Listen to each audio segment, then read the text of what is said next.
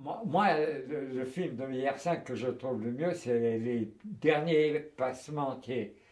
Admirable film.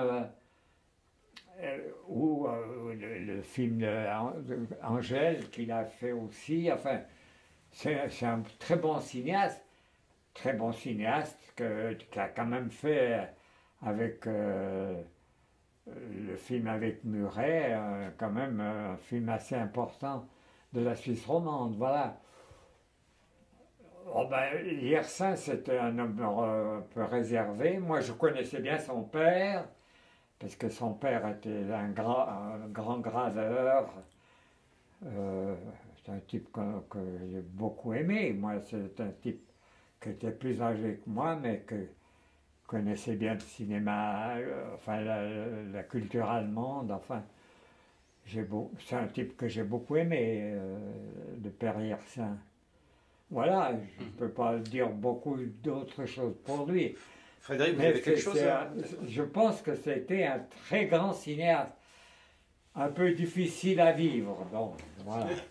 Vous confirmez Ah non, je, je, confirme que, que, en tout cas, il a été un très très grand cinéaste. C'est vrai qu'il avait de la difficulté à, à probablement, euh, entre guillemets, euh, aboutir à beaucoup de projets. Il y a beaucoup de projets qu'il avait dans, dans, les tiroirs qui ont malheureusement jamais abouti et on peut, on peut le regretter. Mais moi, je mettrais plutôt l'accent sur une de ces créations qui a joué un rôle important dans, dans, le nouveau cinéma suisse d'aujourd'hui, qui est quand même la création de ce qui, ce qui s'appelait à l'époque le DAVI, qui est devenu maintenant le département cinéma de l'ECAL, mais enfin dont il est quand même le, le, père. Et moi, j'ai eu la chance de travailler avec lui pendant quelques années au sein du DAVI. Et euh, euh, je pense que les efforts qu'il a déployés pendant une dizaine d'années pour créer cette école de cinéma, qui était quand même véritablement la...